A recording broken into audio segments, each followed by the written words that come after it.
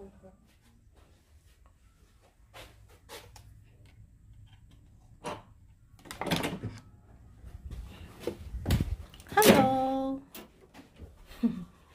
We're here at Anna Crown Plaza Hotel. Ayan. So,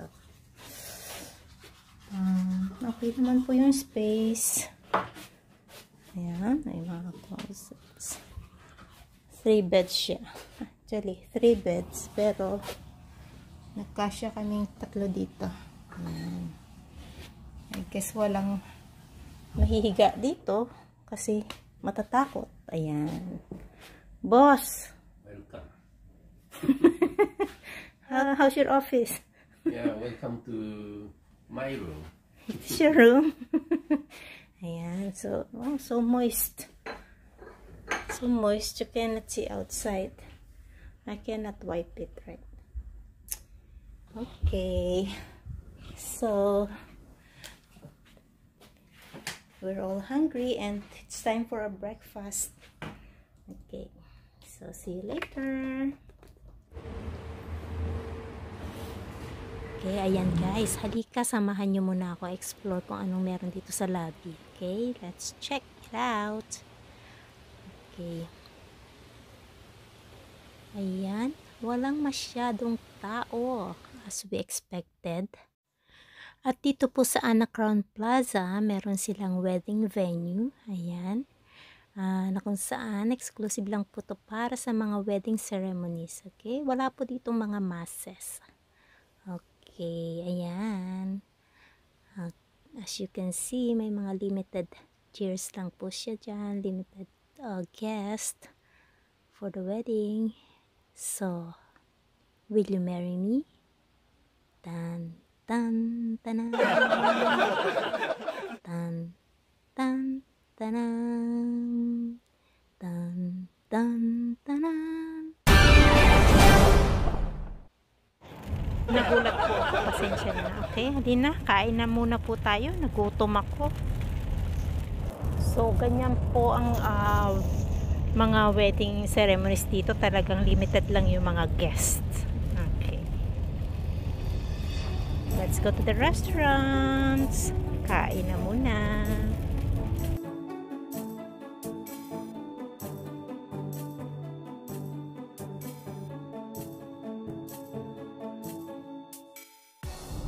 breakfast muna tayo guys and ito yung uh, Japanese style ng um, breakfast buffet ng hotel okay, package na siya sa aming one night stay this is curry and this is the rice Karen you can put it there Hmm. Already toasted. You want to toast? Toast. Toast me one day. Hmm. Ready to so See, it's there na oh. No, ano to?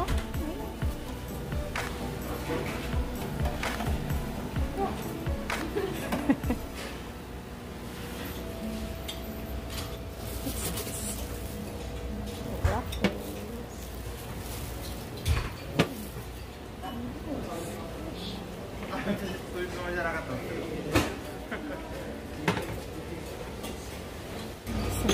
appetizers.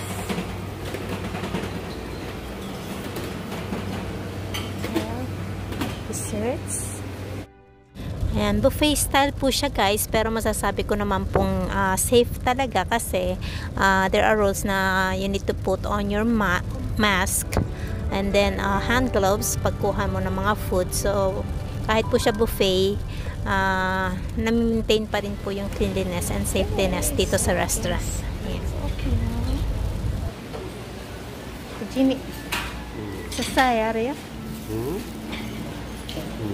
early in the morning. eh, ino? Ante? Ayun, kakain daw po siya ng seashells early in the morning. o, sige po, kakain muna po kami. So, ayun nga guys, nandito kami ngayon sa Ana Crown Hotel in Kanazawa City. Ayan. Sa Ishikawa, Ken. Ayan. If I'm not mistaken. Okay. Um, ayun, yung stay namin dito sa hotel, eh, one night lang. So, that means we're going to check out today um, by 10 o'clock. And then, uh, we're going to visit some places. Then after that, uh, going to the we're going to stay for one more night sa may log house naman kami mag-stay. So, ayan. So, samahan nyo kami sa aming um, family trip dito sa Kanazawa City sa Ishikawa. Ken. well, I'm sure na hindi pa masyadong um, open or malapang masyadong nagtutour uh, from foreign countries sa Japan. Pero, yung mga domestic uh, travelers lang, guidance lang po. Actually, yung hotel is a nice hotel. Um, but there are some irregularities uh, when it comes to their restaurants, ang schedules nila, nag-change. So, para hindi kayo magkaroon ng konting aberya. Ayan, katulad namin yesterday. Um, before we check in, actually, we opted to uh, visited castles, parks, and then uh, nag-check-in kami around, oh, siguro later na ng 5 p.m. And then, ayun, pagod na pagod na. Tapos ayun, uh, akala namin open yung um, restaurant because my, my husband called the reception area kung open yung kanilang restaurants, open daw naman.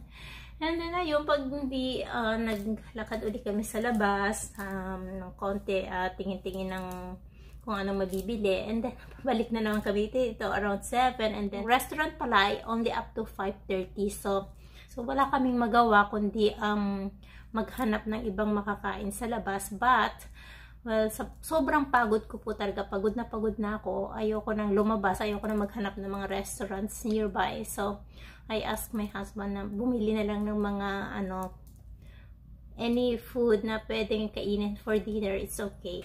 So, as long na makapahinga na ako kasi talagang pagod na pagod na po ako.